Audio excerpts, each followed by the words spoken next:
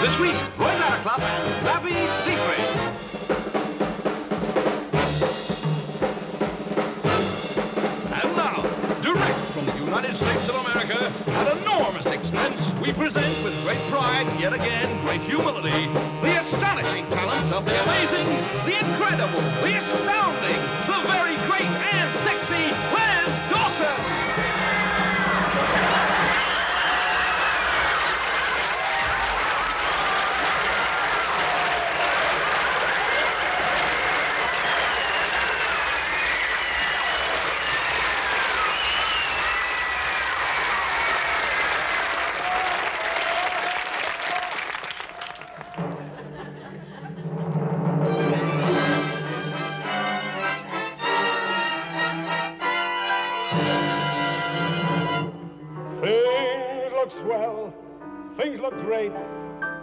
Got the whole world on a plate. Starting here, starting now. Honey, everything's coming a. Clear the decks, clear the track. We got nothing to do but relax. Steal a kiss, take a bow. Honey, everything's coming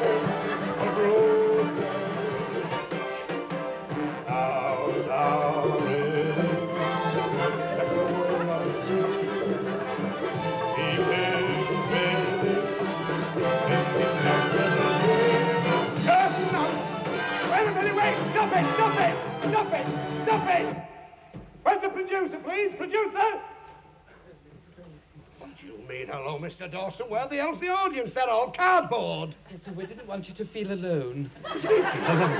You see, we've had this bijou problemette.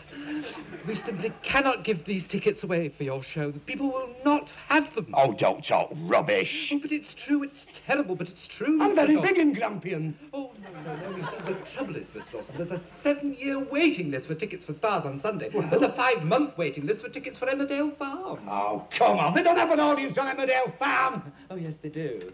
But they ask them to keep quiet. Now, this is ridiculous. For two pins, I'd hit you, but I don't like mascara on my knuckles. Now, you look here. I'm big in this town. When I played the Leeds Grand, it was standing room every night. Oh, yes, well, they had to sell the seats to cover the losses. Why, just give me those tickets. I'll get rid of them, you, buffoon.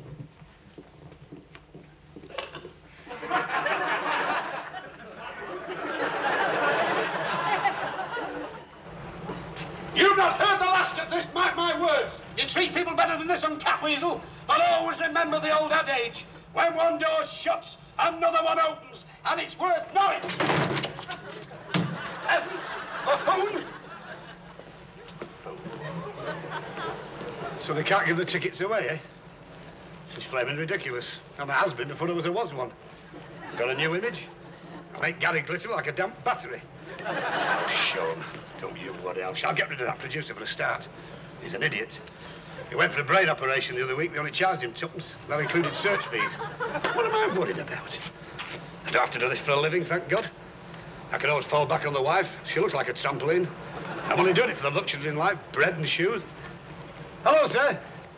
Would you like a ticket for Says and you! I've lost 16 jobs through illness.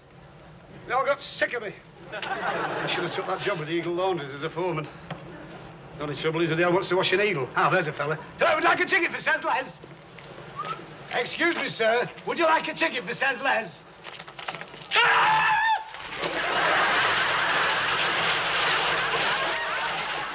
What's the matter with you? It's no worse than news at 10. I don't understand people. What's coming over everybody? They, they're too blasé. The trouble is, there's no romance in this world anymore, but there is if you care to look for it. Take, take anywhere. Take that garage over there.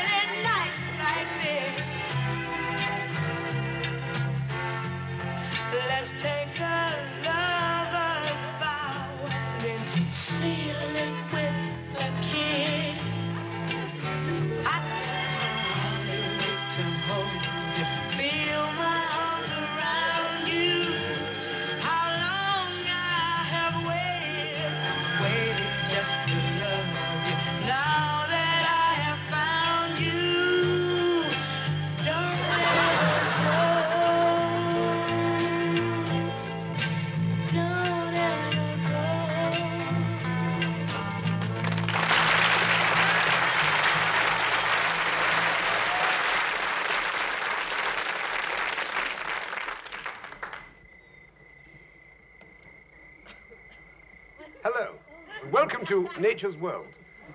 Well, here I am, as you can see, in a heavily wooded thicket in Neasden, where I've been studying under somewhat hazardous conditions, malaria and so forth, the matings and the various life habits and patterns of the stork. As you all know, the stork, a much maligned creature, often depicted as bringing babies. this, of course, is a misnomer, but having watched at somewhat close proximity in my hide to the various habits of the stork, I can well understand why that creature has been depicted as bringing babies. We all know where babies come from, don't we? We're not children anymore. But that stork does it on one leg. if it had two legs, ba-bum, you'd be up to here in bloody stock.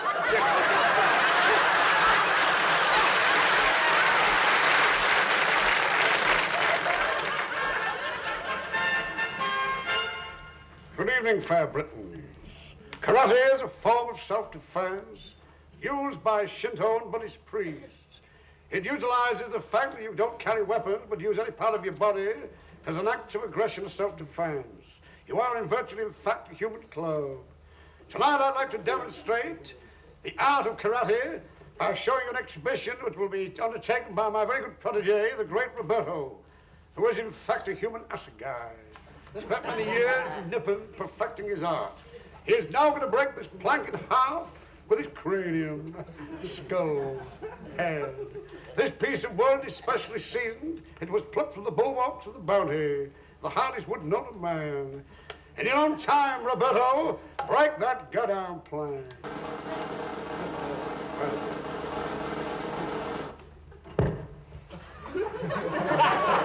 Concussion.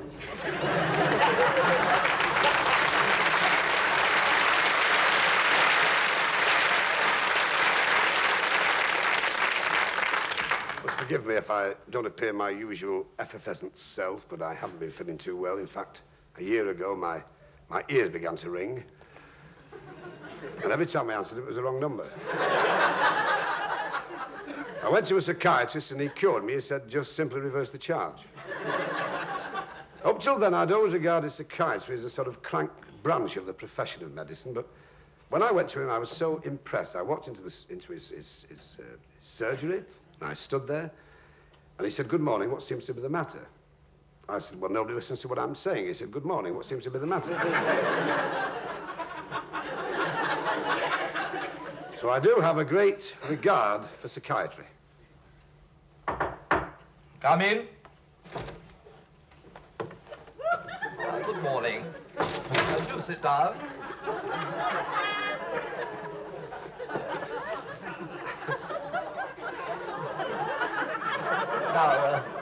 What seems to be the problem? Well, it's very difficult to know where to start, Doctor. You may find it all rather peculiar. But the point is, I, I keep thinking I'm Vera Lynn. I know it sounds silly, but Oh, no, no, no, not at all, not at all. When did all this start? it would be about three weeks ago to the very day, Doctor. I was in one of those alfresco tea rooms in Harpenden. I'd had a pot roast and a meringue and a maid of honor. I was on my third plate of prunes when I got this sudden urge to get up and go and stand in the spotlight and sing. We'll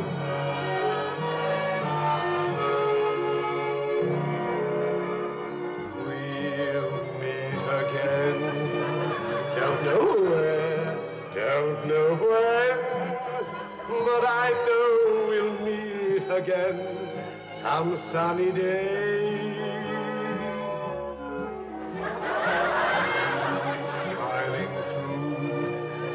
Like you always do, till the dark clouds roll the blue skies nearer to. Oh, wonderful, beautiful. Oh, oh, Miss Lynn, I've always been a fan of yours. Can I have your autograph, please? I'm not Vera Lynn. It is, isn't it? Hey, I recognise those golden tones on the It's Vera Lynn, isn't it? Could you sign this record slip for me, Miss Lynn? One of the boys from Benghazi. Up to all them great Oh. I'll never wash my sleeve again. Roll the horn back. Wait a minute, this is ridiculous. I'm not Vera Lynn. Of course you are. I'm not. Of course you are. I'm not. You are, or my name's not Tom Jones. No, you're not Tom Jones. certainly am. It's not unusual to be loved by anyone. It's not unusual to have fun with anyone.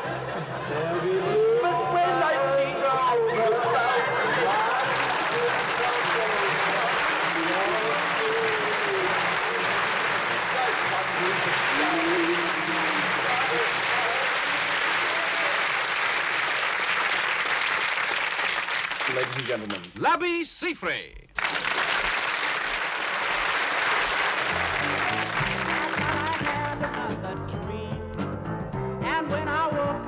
Was screaming. But you were there, so that's okay. You make my fears fade away. And you said, baby, go to sleep now. Baby, don't you weep now. Even in your dreams, I love you. Baby, go to sleep now. Baby, don't you weep now.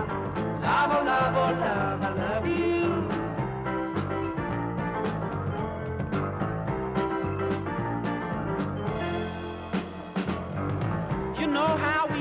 I get sad. Sometimes it hurts me oh so badly, and I don't know what I'd do. If you weren't here just being you, and you say, baby, go to sleep now. Baby, don't you weep now. Even in your dreams, I love you. Baby, go to sleep now. Baby, don't you weep now. Love, oh, love, oh, love, I love you. Da, da, da, da, da, da, da.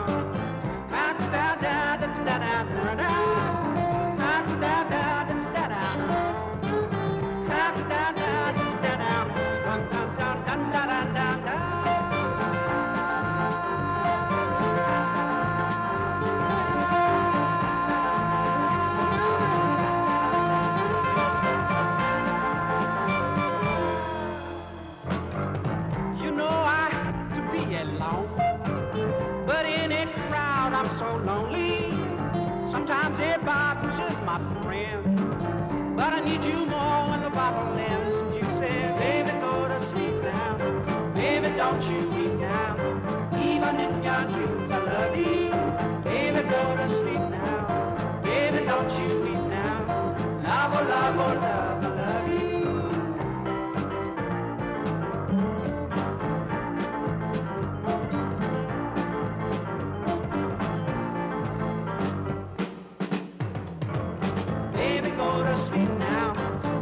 Don't you now.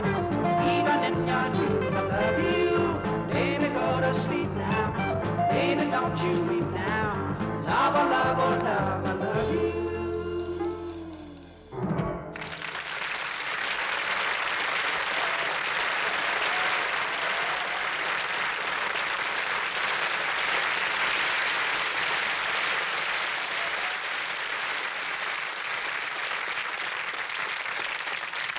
There have been many great meetings in life. Churchill, Stalin, and Roosevelt. Marx and Spencer. Bill and Ben. But who can match that peerless moment in history when Stanley stumbled across Livingstone?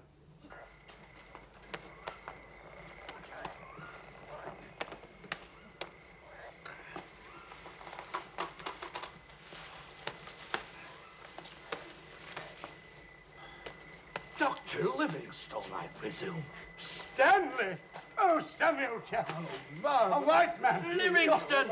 Stanley! Hey, Oh, oh,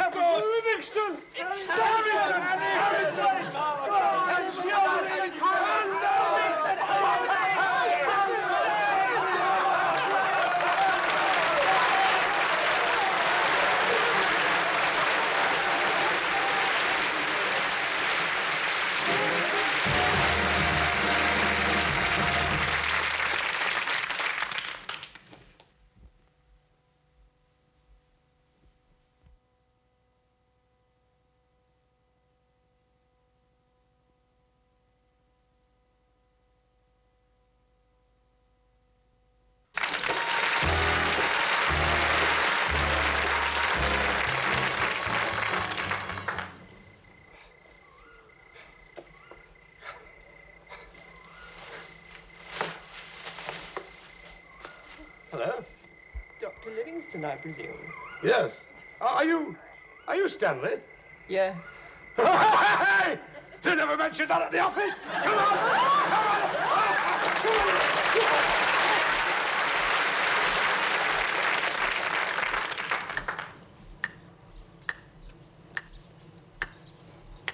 I woke up this morning and the sun didn't shine. I picked up my shovel and I walked to the mine. I loaded 16 tons of that number nine coal. And the foreman said, What the hell are you doing here? You're on night shift this week.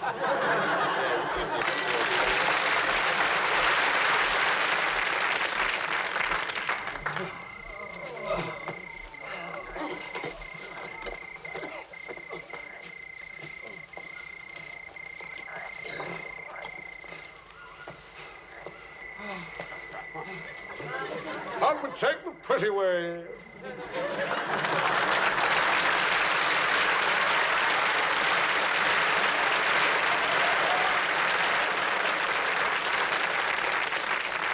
Unsung, unheralded amongst the shires of old Yorkshire, we found some archives in Ripon concerning a man who gave so much to the heritage of music in this country, Mervyn Pith. Some say he took the pith out of reality. Mervyn Pith was a dwarf from Scarborough who used to blow omelettes through his wife fronts.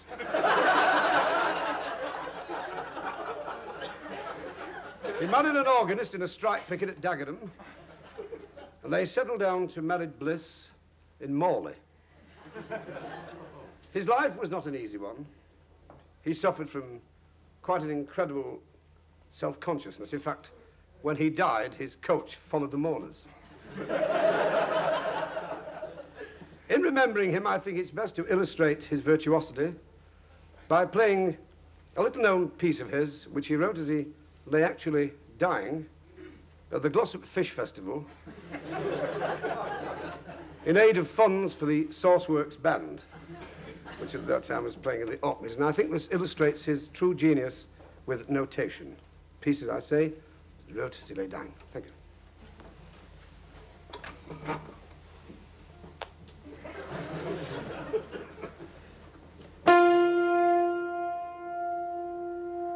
Then he died.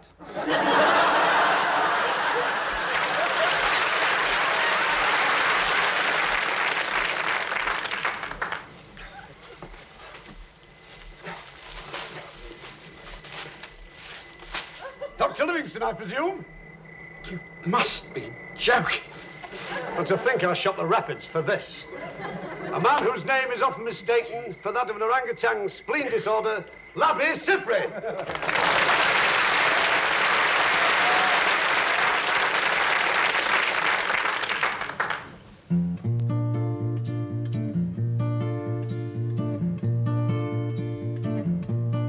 I look up from my book see you sleeping, sleeping on the sofa, wearing my pullover,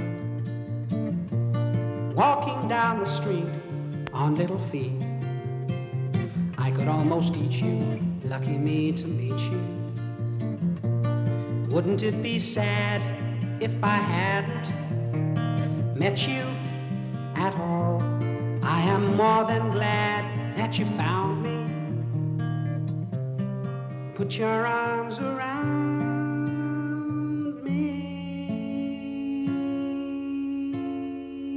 now. After all this time, I still adore you. Need you more than ever. Love you till forever. Da da da da da da.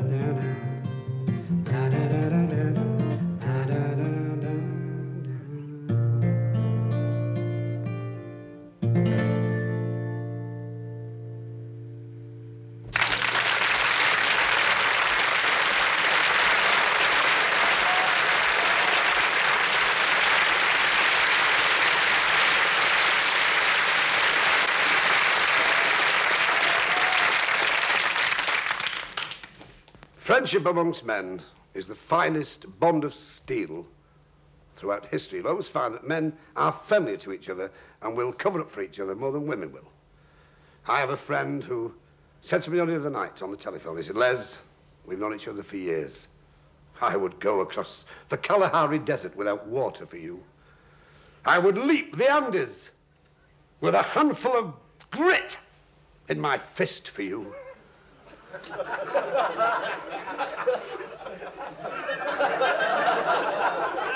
I would brave the frozen tundra of Mackenzie Sound in the teeth of a blizzard for you.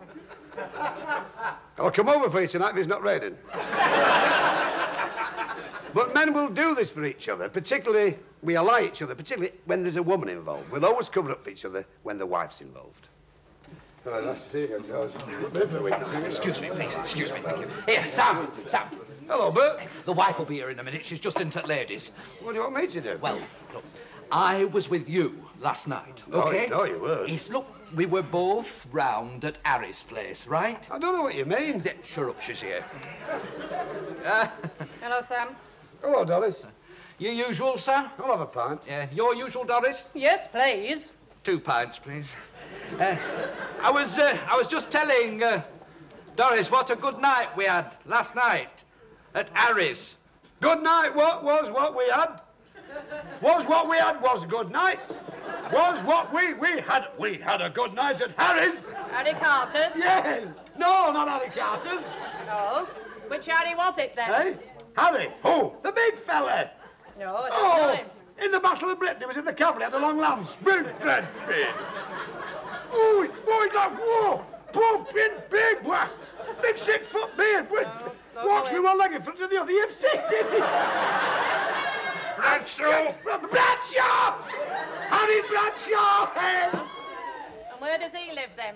Hey, Where does he live? who? Harry Bradshaw. Harry Bradshaw. Bristol. Bristol.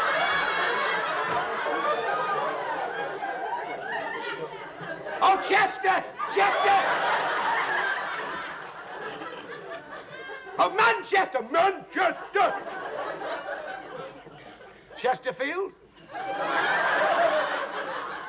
Titfield? Oh, him, hold him!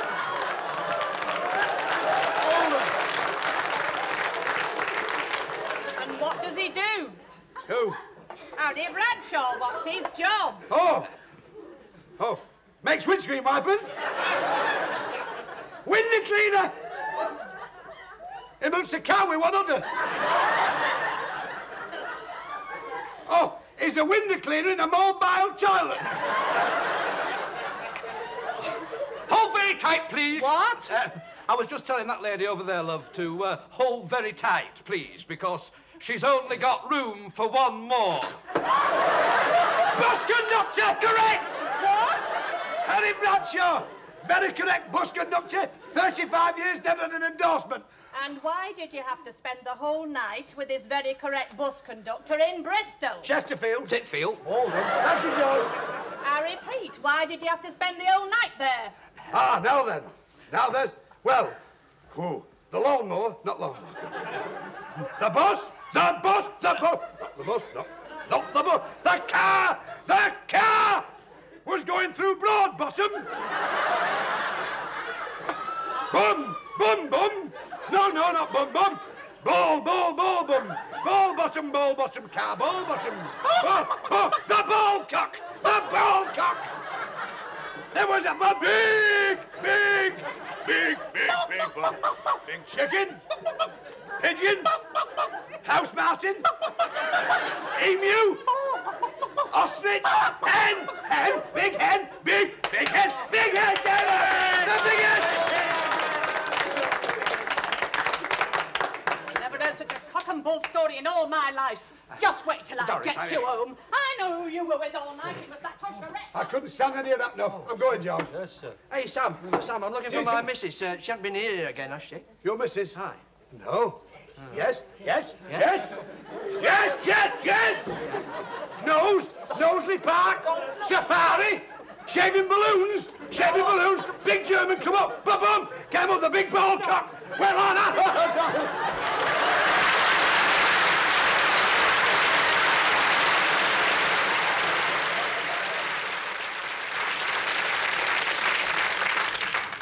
Last week, Syd Lawrence and the orchestra appeared at the annual Hot Pot Supper at the Bisley Rifle Club. and after their concert, they were, Syd Lawrence in particular, was presented with six silver bullets inscribed. We don't know what's written on them because they haven't been dug out of his chest yet. but there they are to prove that rubbish can make money. Sid Lawrence.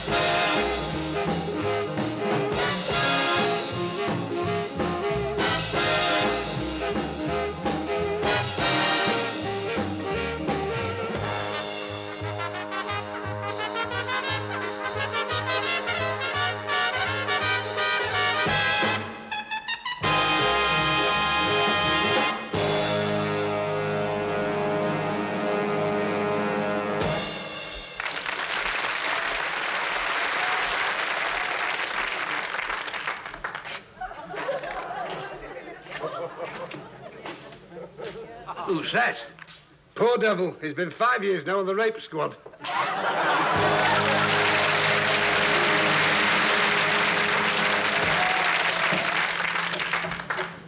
Oh, hello, Ada. Hello, sister. See, Ada, you look upset.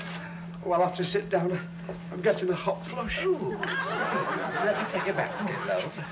Your kindness sin itself, look. I've been having my migraine attacks again. Oh. Oh, dear. I went to the cemetery the other day to put some flowers on Bert's grave, you know, my first Oh, yes, husband. Bert. Because none of his side go, you know. it's all overgrown with nettles and thistles. I went to put some flowers on the grave, and I couldn't find where I buried it. It? Well, you can imagine how I felt. Oh, you were there. You saw him go down. Go down and nearly followed him. It was Howard George that pulled me back when the first sod fell on the coffin lid. Oh, I'll never forget that. Help me God, I won't. Anyway, I, I went, couldn't find the grave anywhere. I just slumped on a stone. You poor thing. I had a peppermint, you know, I get some of little Billy's. I just sat there and the verger came up. Nice fella, oh, you know, nice fella. You remember him, Tommy, oh, little Tommy, Tommy Beamish. Wooden leg. That's the fellow with the wooden leg. Lost the deepest. Well, he came over, he said, what on earth's the matter with you, Ada? Oh, come on. I've got to console those together, Ada. I said, I can't find his grave. I found his grave. Went into the office and he looked through his ledger. Could have been lots of new ones, you know, I didn't know that's gone. We looked high and low in that register for his grave and we couldn't find it. Oh, wait. I said I saw him go down. he said, what was the name again? I said, Collins. Looked through the list, he said, we've no Mr. Collinson buried here. Effa. Can you imagine how? I kept going this way and that way, flushing, flushing like you. He said, but then he said, look through. He said, but we've got a Mrs. Collinson buried here. I said, that's him. Everything was in my name.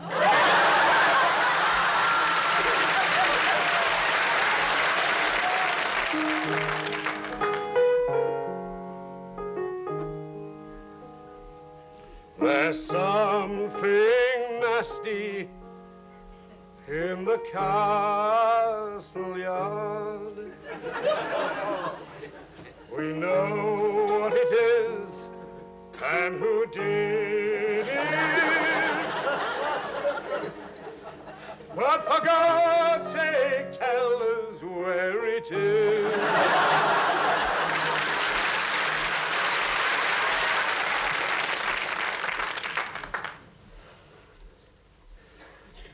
In Programme for Schools today, we're going to discuss ecology. What am I doing now?